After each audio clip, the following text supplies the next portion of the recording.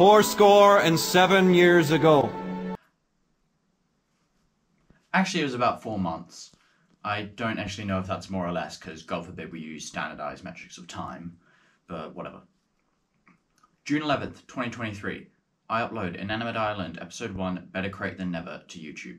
The video does pretty good, especially for the time, considering my channel was absolutely dead at the time. But looking back on it, this is one of the worst pieces of media I've ever put on the internet. One of. Clunky animation, terrible voice acting, and assets stolen left, right, and center. It's not good, don't watch it. But I want to change that. The show has been essentially cancelled for four months with very little progress being made on the second episode. And I want the show to be revived because I have a lot of creative vision for the season that I don't want to go um, unexplored. And so that is why I am now announcing an inanimate. And that is why I am now announcing Inanimate Island is coming back with your help. If you are interested in receiving a voice acting or co-animation role alongside me, read the description for the requirements. If I get some little 10-year-old bastard DMing me like, oh, hey, can I voice act? No. Read the description. Then DM me on Instagram at VoidedAmy. It's on screen in the About section of my channel and in the description. I'll review you, and if you're lucky, you might get a job here at Voided Amy.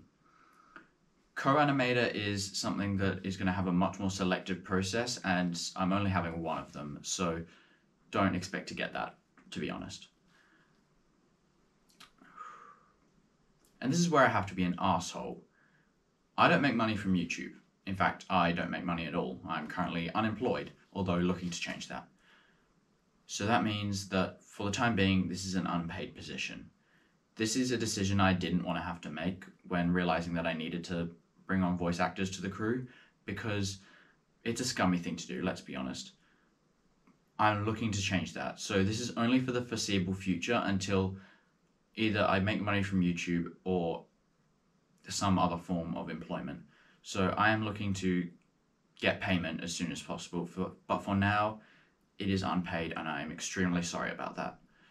So if you're interested in voice acting any of these characters on screen, also in the description, please read that. Then DM me and I hope to see some of you on the crew. Thank you for watching.